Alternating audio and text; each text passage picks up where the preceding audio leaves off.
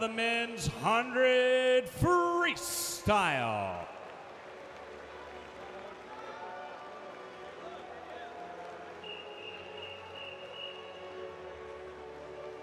Swimming in lane number one, your 100 backstroke champion from the Wolfpack Elite, Justin Ress.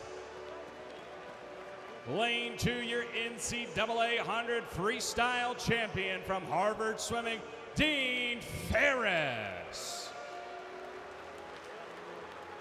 Lane number three, U.S. Open record holder from New York Athletic Club, Ryan Held. Lane number four, your 50 freestyle champ from the NC State University, Nyls Korstanje.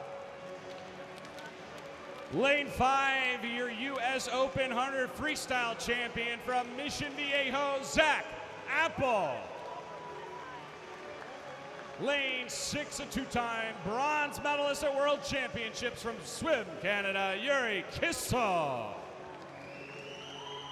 Lane 7 6 in the 200 freestyle, Mikel Schreuders. And in lane 8 10th in the 50 from Pinnacle Racing, Yasuke Lagar. A final of the men's 100 freestyle.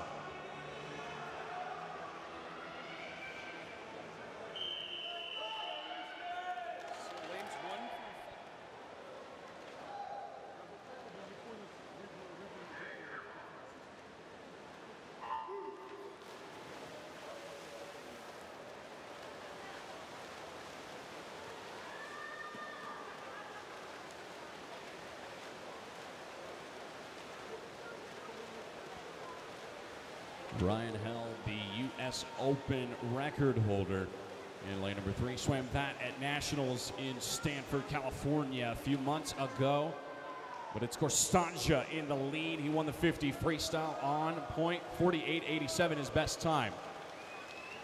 49.17 is the pool record. Korstanje 49.23 this morning. We'll be aiming for that. Really anybody's race still. We try and wrap this up. Zach Apple with the win. 48.98, a new pool record for Zach Apple, winner of the 100 freestyle. Well, ladies and gentlemen, that takes care of the A and B finals.